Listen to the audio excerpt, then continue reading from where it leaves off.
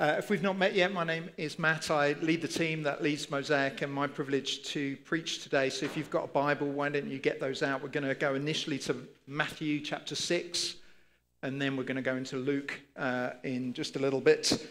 Um, just to say, uh, in the last few weeks, we've, been man- we've managed to buy some translation equipment, and so Anastasia is going to be translating uh, into Ukrainian live and uh, they're up in the balcony at the moment. So if you hear this little murmuring behind you, then that's what's going on. And uh, we should just say thank you to Anastasia for that. Amazing.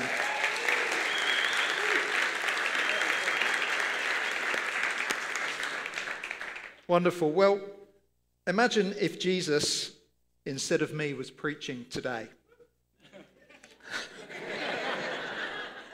it might be a little bit better than what you're going to get. But I wonder what he would talk about. Like what passage he would turn to, what he would see in our congregation that needs addressing.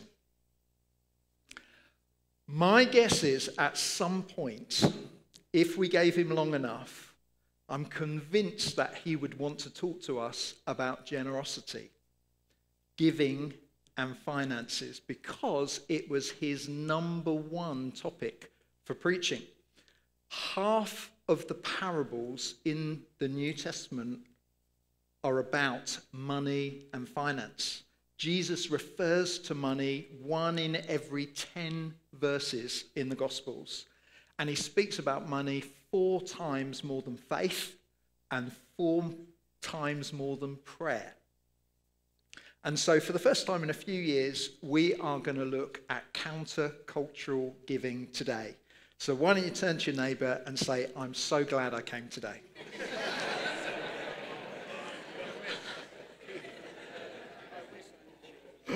now, you may ask, what does Jesus have to say about our money? And especially if you're not a Christian, you're just sort of on a bit of a journey of faith. What does Jesus, someone who lives 2,000 years ago, have to say about the way that we spend our money? Well, at the heart of his teaching, he claimed that there was a huge spiritual battle between God and money. And Jesus basically asks, Who will you worship? Will you worship God or will you worship money? And the question is, why does he ask that question? Well, Matthew 6, verse 24, next verse. No one can serve two masters, says Jesus. Either you will hate the one and love the other or you will be devoted to the one and despise the other. You cannot serve both God and money. So Jesus gets to the heart of the issue. He asks, What is more important in your life, God or money? And of course, like no one worships actual money. I mean, if you do, I mean, it's a bit weird, but you know, we don't get the notes and the coins out and then sort of bow down to them. It's rather what the money can do in your life, what it promises you, what opportunities it gives you, what you can spend it on.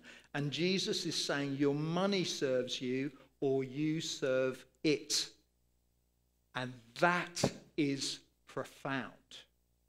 Francis Bacon, uh, English philosopher from the 16th century, he said this Money is a great servant, but a poor master.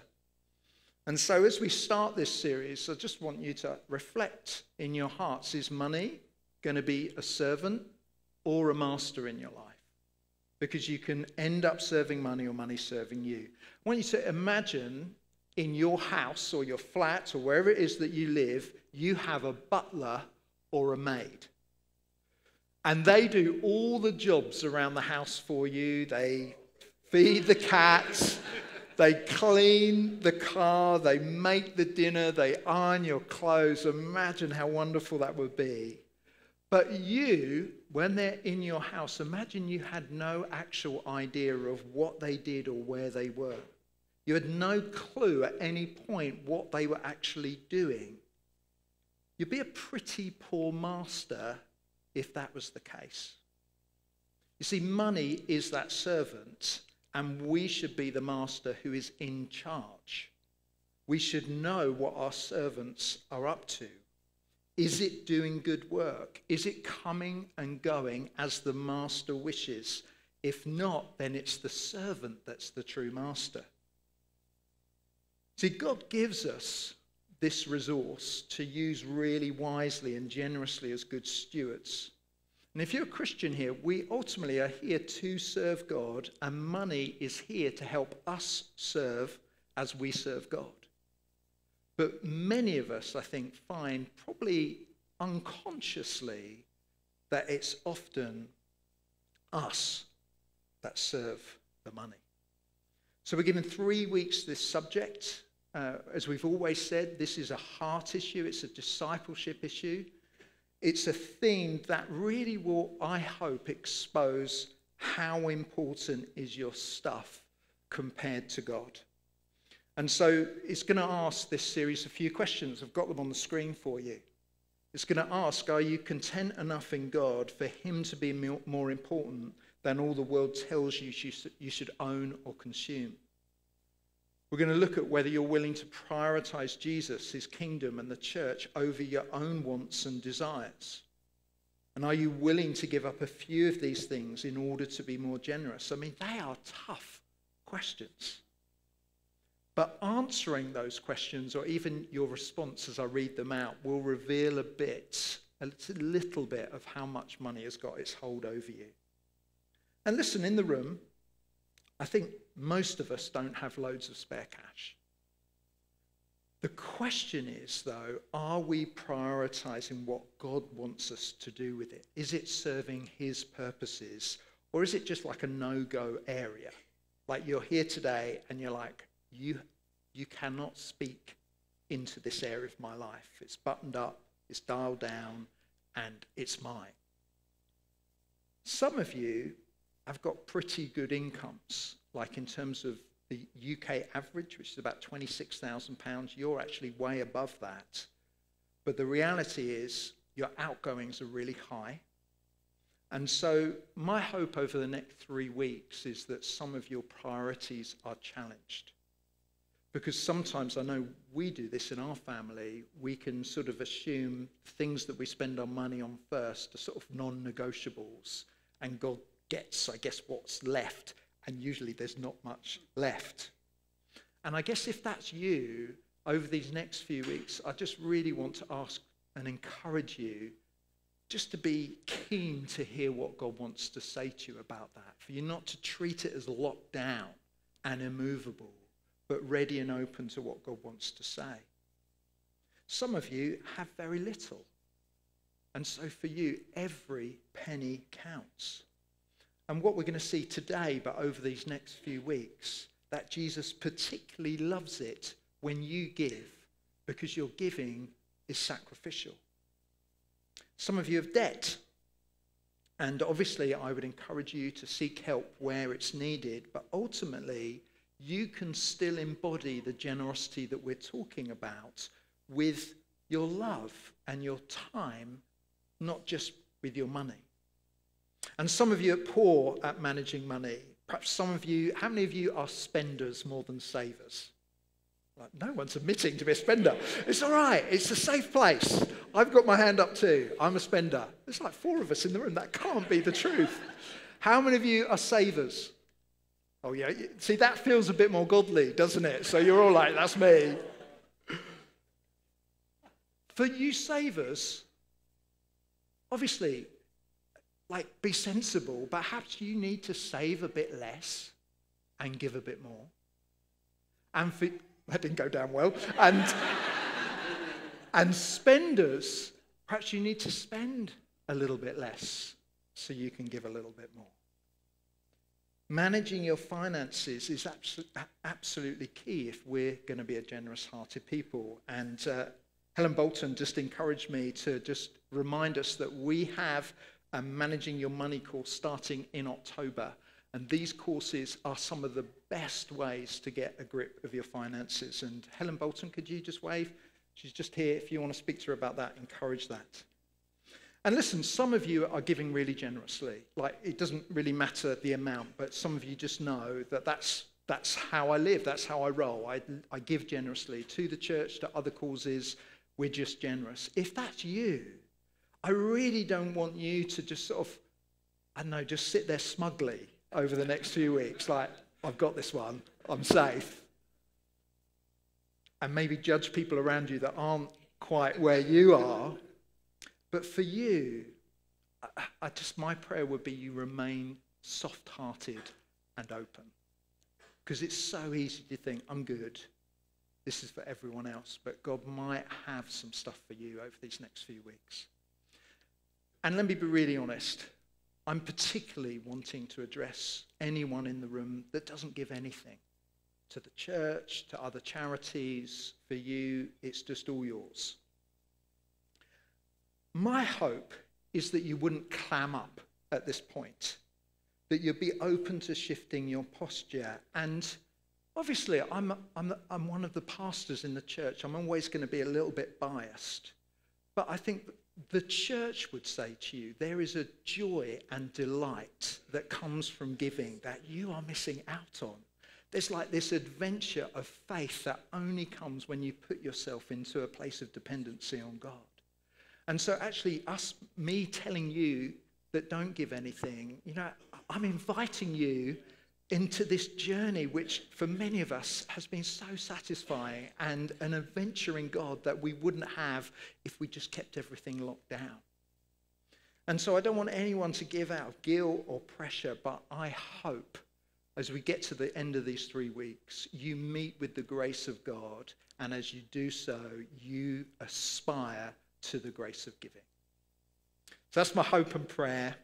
And lastly, I just want to acknowledge that for some of you in the room, but it's particularly complicated. So perhaps you've married to someone who isn't a Christian or isn't a believer, and so managing your finances is, is really complicated.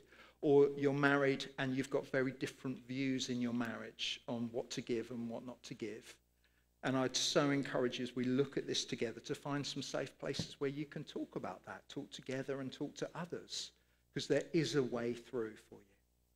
So, to help, we're going to follow this all up in our mission groups, which are our small groups. Uh, every week for the next three weeks, the mission group leaders have been uh, given some notes and some questions to ask. They'll be arriving, I think, by the end of today uh, for this coming week.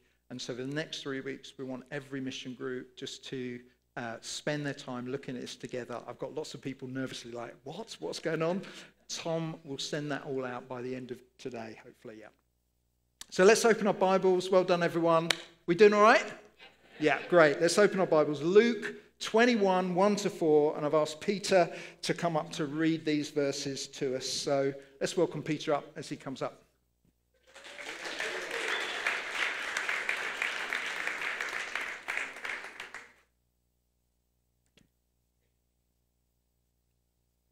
All right. Luke 21, verses 1 to 4. As Jesus looked up, he saw the rich putting their gifts into the temple treasury. He also saw a poor widow putting two very small copper coins. Truly I tell you, he said, this poor widow has put in more than all the others. All these people gave their gifts out of their wealth, but she, out of her poverty, put in all she had to live on. The Lord bless the reading of his words in Jesus' name. Amen. I want you to picture the scene. There's a slow moving line of people that leads to a very small square room that's lined with metal collection boxes. And the boxes have these uh, horns on them extending out to receive the people's offerings. As you can imagine, the coins are constantly clanging as they're cast into these receptacles.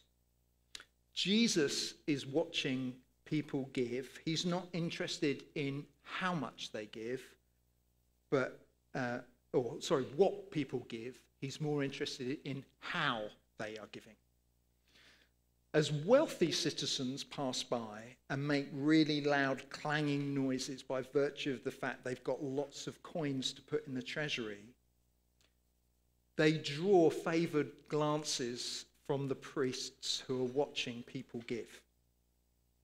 Jesus notices a lady draw up and take out two insignificant coins, mites, the smallest currency used by the Romans. And she tosses both of these lightweight coins into the big metal box. Their faint click is drowned out by the heavy clanking of all the substantial gifts going on around them. So no one notices her. After all, what difference just a couple of little coins going to make? But Jesus notices.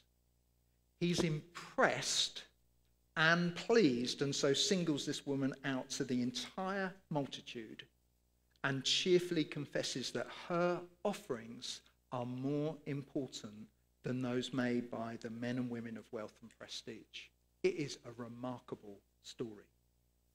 So, what is Jesus doing by bringing attention to this poor widow? Well, I've got six observations from the text. Number one, even though it's about a poor widow's gift, Jesus doesn't rebuke the wealthy for giving at the temple. All should give, rich and poor, and everyone in between. The issue is about the sacrifice being made. Amen? Number two, this story tells us that small amounts are really important. So if you feel your giving doesn't make much of a difference compared to the overall need, you need to think again. Jesus saw the two widows' coins and said she had put in more than anyone else. And so, as you bring just what you can afford sacrificially, heaven rejoices at what you do. Thirdly, external obedience is always trumped by internal obedience. So you may look good to everyone, but Jesus knows what's really happening on the inside and what the giving really costs. So let me just make sense of that. If you're a family that earns £50,000, joint salaries, you may not feel the impact of a thousand pound gift to someone or something as much as a low earning singled or married couple that have made huge sacrifices to give 50 pounds. But you see, on the outside, the thousand pounds looks like this, the dramatic big gift. But God looks at the heart. That's such good news. Number four, both the wealthy and the poor must beware the bypassing of the heart. But the wealthy are in more danger as often their sacrifice is less we can give on autopilot rather with love and faith. And for those of us that have got standing orders, perhaps, you know, our giving goes out, we are in danger of just almost losing the impact and the sacrifice. It's not that the gift doesn't count for anything, but we can almost give on autopilot. Fifthly, the widow gave all she had to live on. That's what the verse tells us and so had to trust God fully because she was so vulnerable and defenseless. If the wealthy don't give sacrificially, then it may mean they are never challenged about where they truly put their hope and trust. And so it's good to be jolted by radical examples. What does it mean to give sacrificially? I think it means giving until it hurts, like it costs you something, you feel the pinch, it affects your life in some way. It means that you perhaps can't do certain things, it impacts your expenditure or your savings or your lifestyle.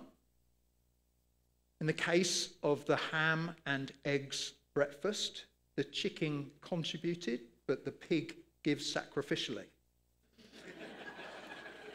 That's the difference. Some of you are just getting that, but that's fine.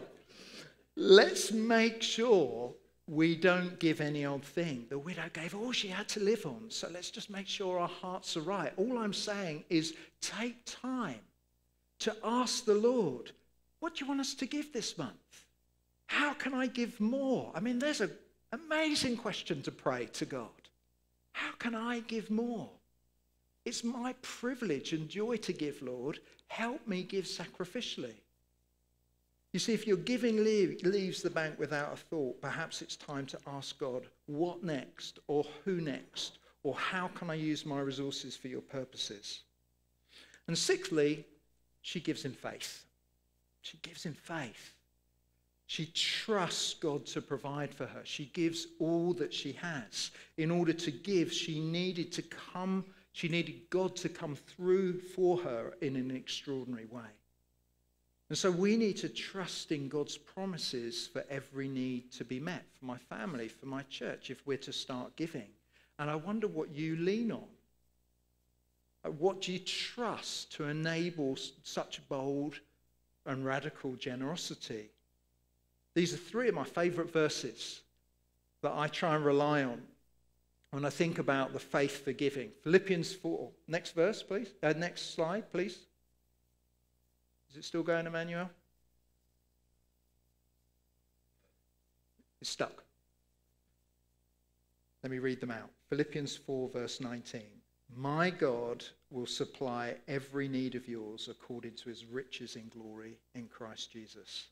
My God will supply every need of yours. 2 Corinthians 9 God is able to make all grace abound to you, so that having all sufficiency in all things at all times, you may abound in every good work. And let's read Matthew 6 together. Seek first the kingdom of God and his righteousness, and all these things will be added to you. And our experience as a family, uh, as a married couple, and many others we know of in this church is again and again, God comes good when we take baby steps of faith. A couple of years ago, a um, number of years ago now, we had a special offering in church, and uh, Pip and I, uh, three young kids, just me earning, uh, our budget was, you know, we, we had nothing to give. And so we prayed, Lord, we want this certain amount because we want to give into this offering. And we prayed and prayed, and literally a day before the offering, the money came in. And I remember, even as the money coming in, saying, Shall we keep it? Is this, is this something we should give away? I feel like the Lord's blessing us right now. And just how corrupt is my heart. I'm, I married well. But just that posture of, Lord, we want to give, we've got nothing. And it just feels that's a really great prayer because it feels very pure. It feels like my motives are good at that point, even though even when I get the money, I still want to keep it. There's this sense in which, Lord, you know, we, we don't have anything, but you can provide. I remember being a student and I was helping lead the Christian Union, and UCCF uh, wanted to take us off to train us so we knew how to lead this Christian Union. And I think we needed our team about £400 to take us to this residential, to pay for the trip, uh, to pay for our time there. And none of us as students had that money. And so that was one of the first times I can remember saying, Why don't we pray that God would provide? And people are like, What? What? That seems really radical thing to do. And so we prayed, and God gave us the money. I mean, incredible. And I, you, you, sort of wonder as Christians, why why do we doubt that? Why do we think that God doesn't want to provide for us in that way? But you know, over the years, our experience is that finance, giving a proportion of our income and trusting God to provide, is the one place we can test God. Malachi 3, verse 10 says this Bring the whole tithe, the 10% of what you have, into the storehouse, that there may be food in my house. Test me in this, says the Lord Almighty, and see if I will not throw open the floodgates of heaven and pour out so much blessing, there will not be room enough to store it. It's so fascinating. God normally says in the Bible, Do not test me. And this is the one place he gives permission for us to push things a little bit more with him he seems to love it when we need to trust Him to provide for our needs and to provide so we can be generous. So, look, the widow in the temple treasury gives us six things to do. But I guess I just want to be really practical. What does it mean to be that sacrificially generous in everyday life? Am I talking about making sure you sort of put your hand up when you're out and it's your time to buy a round of drinks? Am I talking about, I don't know, giving a few quid away to a local charity? Am I talking about just you being willing to loan me your lawnmower when I ask and not get too protective about your Flymo or whatever it is? What does this look like? Well, you may have heard of tithing, which is giving the first 10% of your money to God. And you may have even heard preachers say, Your first 10% belongs to God. And I totally disagree with that. Totally. All of it belongs to God, not some little first 10%. And it's ironic. We sing about this all the time. Take my life. I surrender all. Lord, you are worthy of it all. Just 10% though of what I've got in the bank. How much should you give to the church? Well, we're going to try and unpack this. But I just think you cannot get away from the New Testament where it, there's a consistent theme of 10%. And then the early church not only embodied that, but they seemed to go beyond that and pushed on towards lives of great generosity. And so, my advice is don't get too hung up about getting things down to the decimal point. Rather, what my heart is for all of you is to excel in the grace of giving. Just excel in it.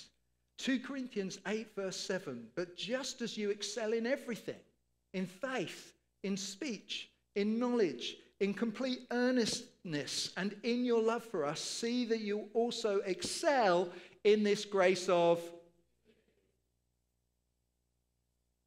And I just think all of us need to work towards that. And it's obviously about a lifestyle of generosity that I think includes tithing and giving to the work that we're doing as a church. You know, what your giving does, it's so great to have the guys talking about Zambia because our giving goes to affect lives in that way. If you give to the church, it releases pastor, pastors that should be equipping you for ministry. It pays for renting buildings so that we can gather.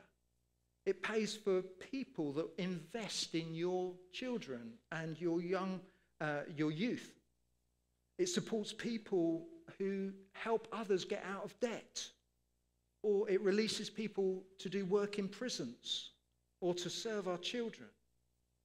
It means that you are part of a church family that is absolutely committed to the up of following Jesus to the in of building community and the out of joining God's mission to make disciples locally and globally. It goes towards alpha courses that introduce people to new life in Jesus.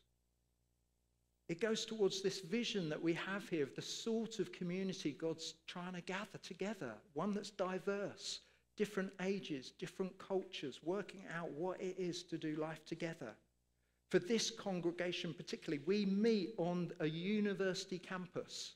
And so our prayer is particularly for young adults, for students, for people in those early years of life to find Jesus and set a course towards him for the rest of their lives.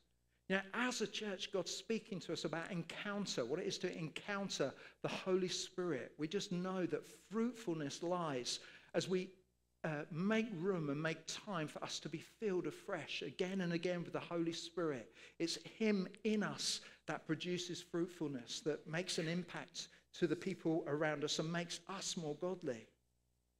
But the grace of giving just reaches so much beyond just what we're trying to do as a church family. It impacts the sort of community you and I experience. It means that you are all soft hearted when perhaps there's a fresh appeal or a fresh need in the community. We find a, a refugee uh, needs housing, and we say to the church, Who's got an oven? Who's got a sofa? Who's got bed linen? Who's got chest of drawers? And together we rise up and say, We can do that. I've got three chest of drawers. I can get, get rid of one, or whatever it is.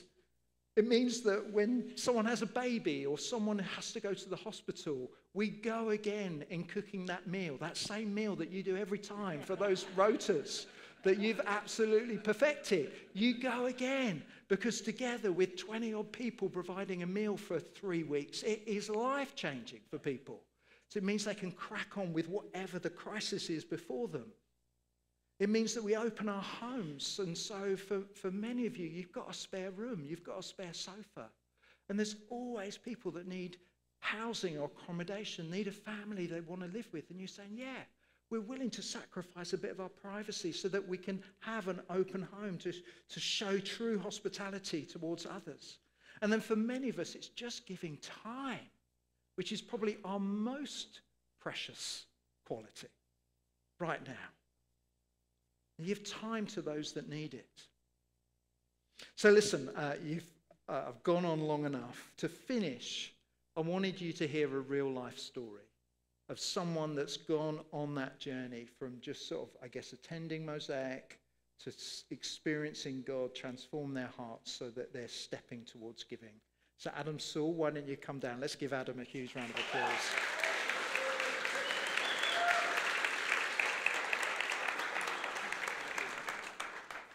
Hello.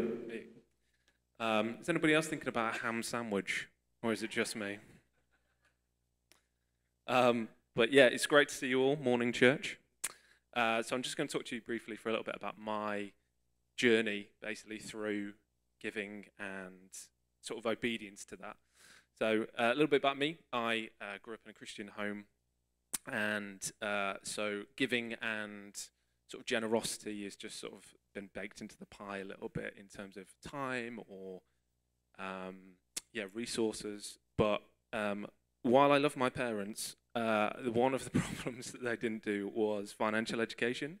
So understanding what you do with money, how does it work, why is it good to tithe, why is it good to give, that was something that they just sort of fell down on a little bit. And so as a result, you kind of have to look for it yourself. But what that meant was instead of me going, hmm, maybe I should look at the Bible, uh, I went, oh, let's look on YouTube and other videos that will tell you about investments and tell you about this, this, and this. And none of them were from a biblical point of view. And so what they tell you is save your money, don't spend it, save it on what you want, spend it on what you want. It's all about that.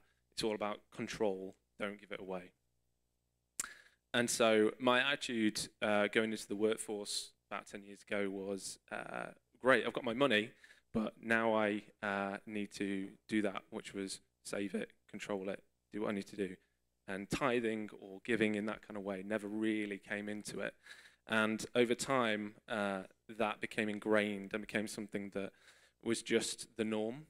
And uh, as time went on, that you know goes up. And so when there's a giving appeal, I'd maybe give, but realistically not. I go, mm, well, oh, I've had a bit of a weird month, so maybe I won't give today. Or yeah, I could give a fiver, but mm, yeah, maybe I won't give a fiver. And so before we knew it, it becomes a hardening area. And actually, it was an area where um, whenever I was challenged on it, I would just say, no, we're just going to not deal with that. We're going to go somewhere else. Or, oh, yeah, let's spend our money on this. And that means that we don't really have any money to give. So most of my life, I've worked low income jobs. Um, and as a result of that, I thought, well, I don't really have the money to give. um, anybody else can relate? And being in a position there where that becomes ingrained as well, where, oh, well, once I get a job that earns this kind of cash, that's when I'll give because that's when I can afford to do it because the things I'm buying at the moment are things I really need. And as I'm standing here now, you realize that a lot of things you have don't really need. And uh, one of the reasons for that is that it's, it's led into this becoming an, an ingrained thing of, well, I just I'm always on these low income jobs and have been for, for most of my sort of working career. And so that becomes a thing of once I get there, I'll do that. But I'm not there yet, so I'm not going to do that right now. And the change has really happened in the past few years. Um, always been brought up in a Christian home, as I said, and that's always been a part of my faith uh, and living that out. But as I got into my 30s, it was something that I thought was something that started to make a bit more sense, but also was was starting to become challenged more as I looked around the world and what was going on, and trends and forces come in in terms of your worldview and how you live and how you act. And the main thing was that I was saying, God, I really want to go deeper with my faith. I really want to be in a position where you are Lord, um, but not over finances. And so this became a situation where realistically I had to put my money where my mouth was because ultimately, if I'm going to do this, I'm going to believe that God is sovereign. It doesn't just mean He's sovereign over careers or children or anything else. It's everything in my life, and that became a real uh, challenge over the past few years. As uh, it's been a tough year um, in terms of jobs. I've had four jobs in less than 12 months. Uh, it's been a real test in terms of faith for um, God's provision, and I just want to point out that throughout all of my life, I've never been in a position where God has not met that need. So it's always been a situation where I've always had food in the fridge, I've always had uh, money to pay rent, and I've always had money to pay my bills. But there's been times where you go, this is this is getting a bit tight. Uh, what's going on? And over these past two years, it's been a real gentle correction of God changing my heart on this issue and being in a position where that becomes, especially over this last year, where you're thinking, God, I really need you to come through because I really don't have very much, and payday is not giving me what I need to pay for all of the things that I actually need rather than want. And so it's been a situation where I've been felt very challenged to uh, do that in my recent uh, situation. So I'm starting a university course in two weeks' time, but until then, I, as part of having these four jobs in this year, it's been very tumultuous in terms of those finances. And God, but God has provided in all kinds of different ways, and we've even got time for me to go through it over this uh, in this time. But one of the things I will say is that there's been a job that's been paying uh, over the past three months as a temp job, so that's just been weekly payments. But the problem is, is that in this time, it's very much gone. Friday we get paid, and then it just seems like it's gone in for whatever reason, whether it's paying for car stuff or paying your bills and rent, but then it just feels like it's going out and you don't really have anything coming in. And uh, one of the areas where I felt really challenged with that is feeling like this way that I've been doing it for so long has not really worked. And now we're in a situation where I need to be, well, I got challenged by God to say, well, what are you going to do about that now that you know that this is not really working? Let's look at that. And how can how can I change that? And so part of that was the challenge of looking at tithing and going, you know what, uh, in an earthly sense, I'm not doing something that's working very well. Um, so I need to look at a heavenly response to this situation. And uh, that's when I started uh, looking into tithing. And full honesty, I've never tithed before, uh, about a month ago, and was in a situation where I thought, you know what, we've just got to give it a go. We've got to trust and have faith that God understands my needs and He's going to meet them. But then also, I need to sacrifice in order to give to this situation because that's an area of my life which is not really under God's control. And uh, as I've done that in God's wonderful, gentle correction way, it's been a challenge. And the first time I gave, it was a real, real heart sort of moment where I was like, oh, I actually have to do this if I'm going to believe this. oh, that doesn't feel great. And then actually, that really was a revealing moment for me of like, well, actually, who's in control here? Who's the one who's in control your finances? And this really brought up a resistance in me and realized that this is an area that I need to give over to God and really trust in faith that, you know, this is not, he doesn't need my money, but he needs my heart. And that's what this is really about, is actually making sure that my heart is in the right place. And uh, yeah, as I've been challenged by this, uh, the results have, you know, it's not like I've just got a Range Rover on my front lawn all of a sudden, uh, not prosperity gospel kind of thing, but it's been a changing my attitude towards it and giving God that first 10%, even though, as Matt said, it's, it's all His. But actually, it's about where's this provision coming from. And especially over the last year, I've noticed, you know, four jobs in one year, you kind of go, well, actually, jobs can come and go, but God's provision is always going to be there, and God's heart's always going to be there for who you are as a person, as a human being. Um, and so, even just in the past sort of month, I felt much calmer about finances. It's always been something that I've stressed about. It's always been something that has always been a concern and taken up a lot of mental energy. But that has now started to reduce, which is fantastic. And actually, there's been that freedom to just kind of go, this is in God's hands, it's in God's control. So I need to trust into that. And uh, yeah, it's just been another area with feeling God's wisdom as well of going, well, look, God, I've got this. I'm going to give you my tithe, but is there anything else you want me to give towards? And also, is, the, is there a better way that I can manage my money in a biblical sense? And what can I do about that? And uh, yeah, so that's what we're into at the moment. And uh, that's my current journey.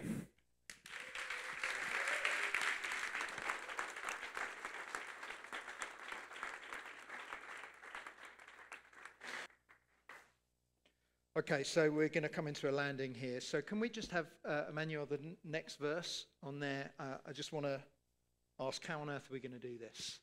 How on earth are we going to be uh, people that sort of embody some of the generosity and embark in some of the journey that Adam's just been sharing? Uh, I just want to read this verse. So this is just carrying on from the grace of giving. I'm not commanding you, but I want to test the sincerity of your love by comparing it with the earnestness of others. For you know the grace of our Lord Jesus Christ, that though he was rich, yet for your sakes he became poor, so that through his poverty we might become rich. Jesus faced the onslaught of greed and sin and idolatry. He lived the perfect life. He's broken the power of greed. And at the cross, he takes the punishment that we deserved and by trusting in him, his victory becomes our victory. Freedom from the pull of materialism and money is available as we put our trust and hope in Jesus. Amen? Amen. Do you want to stand? I'm going to pray, and then Hannah's going to lead us in worship.